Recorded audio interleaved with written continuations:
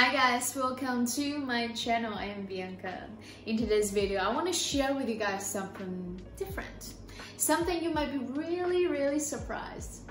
So if you're new here, uh, you probably cannot really tell that where I come from. Some people say that um, I might be Filipino, or they will say that, well, I'm sure you're half Asian, but you have another half of somewhere, but where?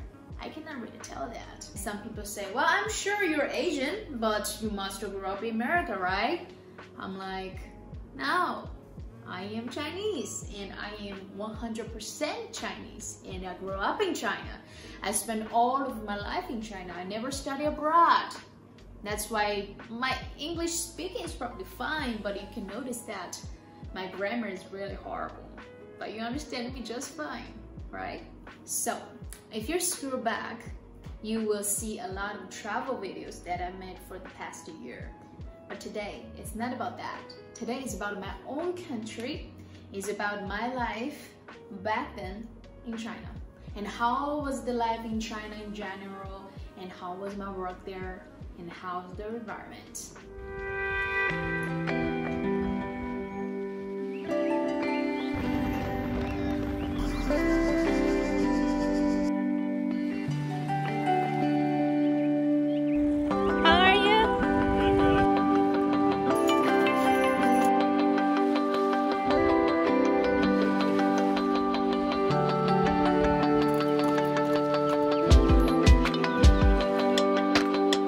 How do you feel with your first walk?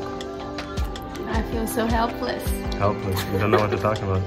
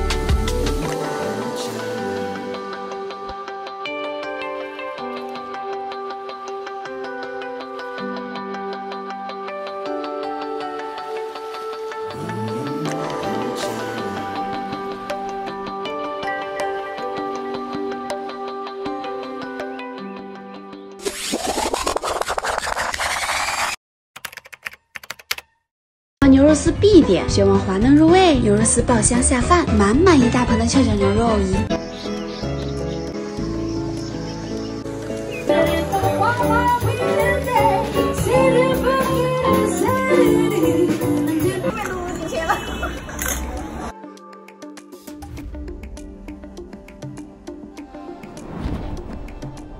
First of all, I want to introduce you to my city, Chengdu, China. Every time when people ask me, so which city do you come from in China? I'm like, I come from in Chengdu.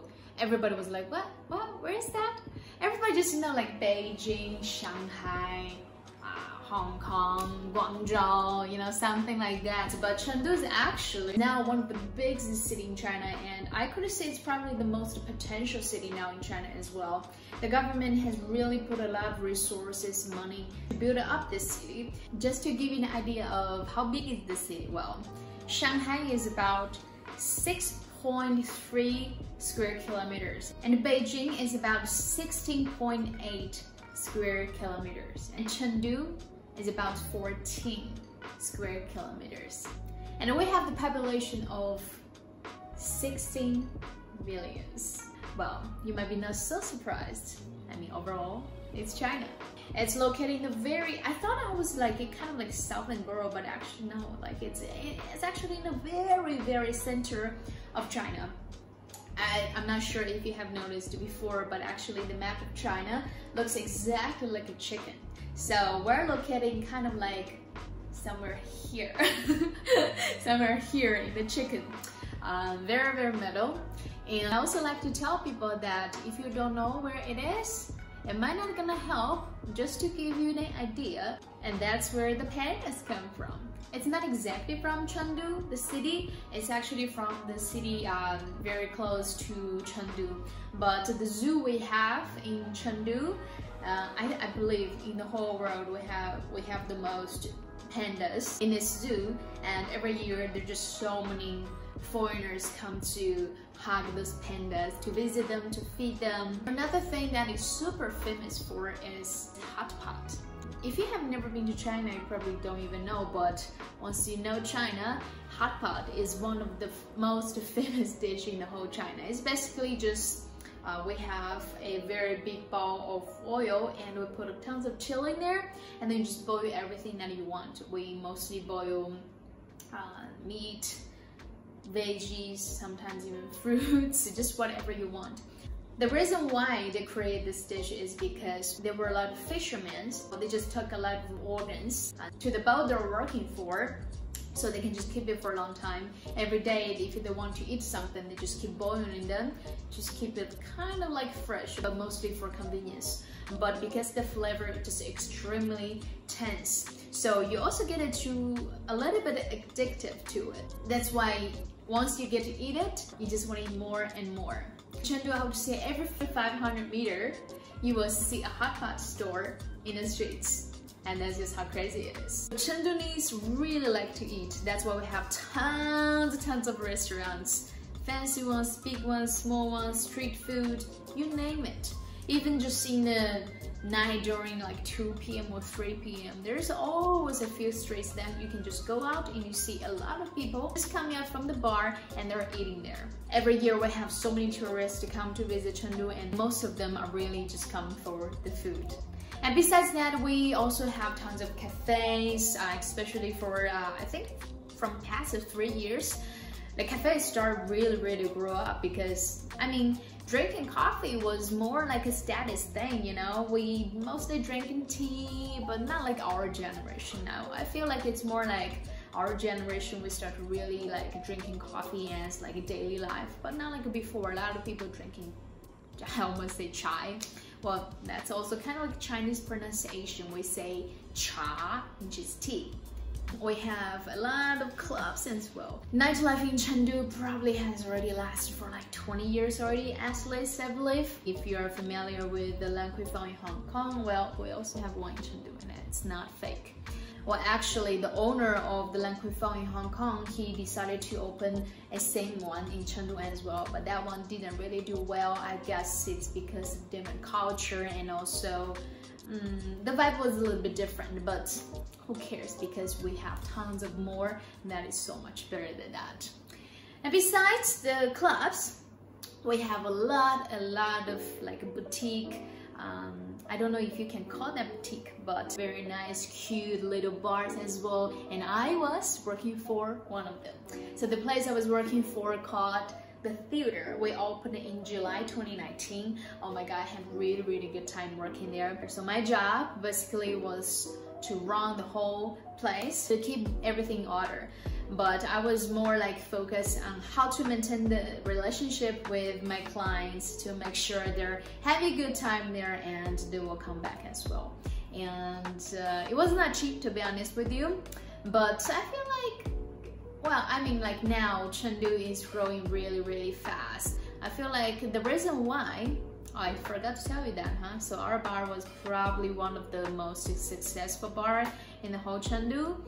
Uh, I kind of know the reason why it was doing so well. First of all, it was really, really unique design. Everything was just so different than other bars we were kind of like we had some like church elements and some like European features in there as well and it was completely dark just so dark. We didn't really have we only have like one lamp but it was super super uh, dark. And mostly we use candles. We have real candles on every corner every table and it was just extremely romantic. And we also have a stage that performance live jazz music every night so the whole atmosphere you can just imagine was super chill romantic and i was like i, I always tell my clients i was like even there's a guy sitting in front of you, you feel like you know, he's like meh, but you know, once you start to talk and have a sip of wine, and just feels like, mm. you know, that's like different. I really like the vibe there. I made tons of friends there as well. And also enjoying the time I was dressing really nice every day, not like now. Now I probably have like three or four outfits that I just keep wearing for months before I have like different outfits every night. I dress up nice. A lot of female clients come to ask me, oh, where did you get this dress? Where did you get these boots? They're just so beautiful. Because of that, I made a lot of friends of that as well. It was really good time. It's just completely different lifestyle that I have right now. And I miss that. And I'm so looking forward to bring Danny back there to enjoy the food, to take him to my bar hang out with my friends as well, visit my family. That would be really, really And Chengdu is famous for the chillness. It has been nominated for the happiest city to live in China actually for quite a few times. And there was even a, very famous sentence said, once you come to Chengdu, you will never want to leave because of the people, because of the food, because of the price. And there's one thing I almost forgot is we have a lot of beautiful girls in Chengdu. We have a, a shopping area. It's called Taikoo Li. In that area, every day you will see so many stylish people walking around. I'm not sure if you have ever watched those like clips on Instagram saying like something like China fashion. So just like people dressing up, walking the streets, and uh, some people just like making short videos of that. So basically most of those videos are from that streets. So yeah, Chengdu is also famous for uh, gorgeous girls.